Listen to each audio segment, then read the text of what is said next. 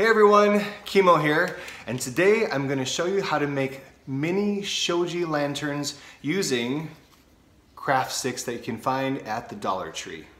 Today's project is a really simple DIY that can help you to create some ambiance in your room, give a little light on your desk, or you can even create a customized centerpiece for your next event or party. But before we go any further, please remember to like this video, subscribe to my channel, and hit that notification bell to get notified of our latest and greatest videos that we publish every Sunday. And I'd love to hear from you. Let me know in a comment below what you liked most about this project, and also if you'd like to see more Asian-inspired DIY projects in the future. And without further ado, let's get going. So I'm going to cut off the ends of these craft sticks using just a pair of scissors. I find that that works best and I've tried a few different things including a kitchen knife, an X-Acto knife, a utility knife, and that just seems to work best. Now we need four different sides to create our lantern. And so I'm mocking one up right now, but you can see that right there where I'm pointing, we have an opportunity to connect those pieces, which I'm going to do by slicing up a smaller portion of our craft stick and then again cutting that in half and then adhering it to the sides. I'm using a cardboard box to create a straight edge for my two craft sticks, which we're going to connect together with a little bit of hot glue and our half piece of our craft stick. Now you'll notice that I'm putting that half piece a little to the side to create some space there, which will be helpful as we connect these panels together. Now we need to glue a craft stick to the top of the lantern and also to the bottom, which we'll do using a little bit of hot glue. Remember again to leave some space on the outside edge of your craft sticks to ensure that you can connect all the panels together. Because we're able to connect these craft sticks in this way, this creates a slightly larger lantern which will stand about 10 inches in height. Again, as you glue down that craft stick, make sure that there is some space on the outside edge. But holy crap, you guys, I made a mistake. On one of the sides, I had put that half piece on the outside edge where it should have been on the inside edge. So I had to take it off, turn it around, and re-glue that piece using some hot glue. Crisis averted.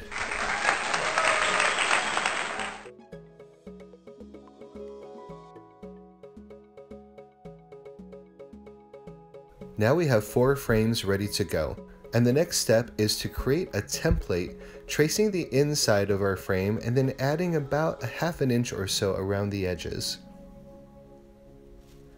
and I found this beautiful tissue paper at the Dollar Tree. It's a really fun pattern with some color and lots of robots. Using the template that we created, we're now tracing out four shoji screens that will go onto each of our four frames.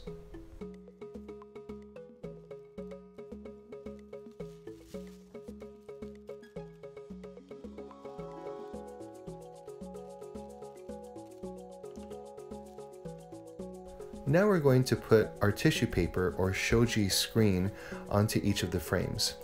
Make sure that you have the frame and the tissue paper facing the right way. Add a little bit of hot glue at the top. And once you secure the tissue paper to the top portion of the frame, you'll glue down the rest of the tissue paper, ensuring that all four sides are secure.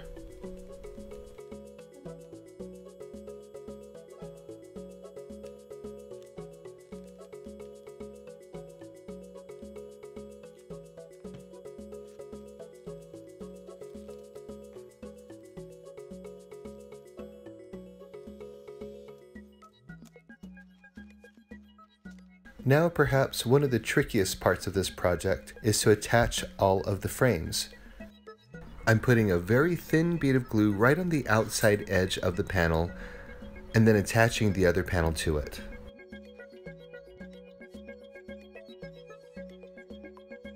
We'll do this for all four sides.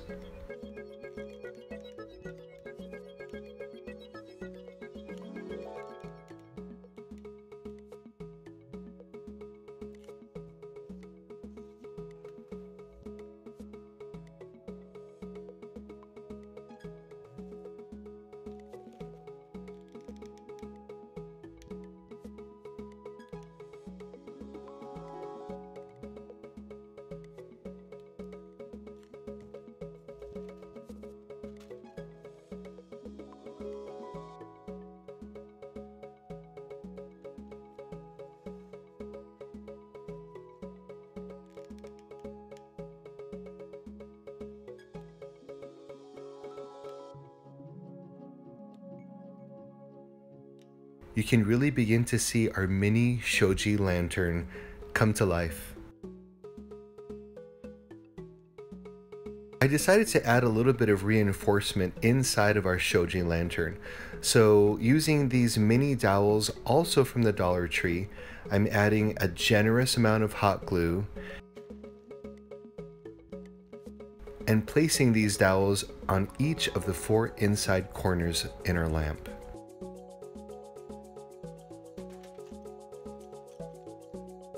I'm taking the lid off of my drink and this will be a mini candle holder for my flameless votive candle.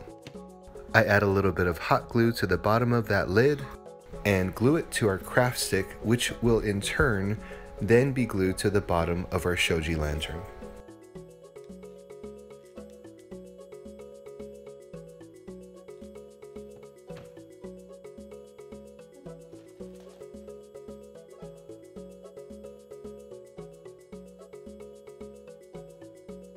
And now, our final result.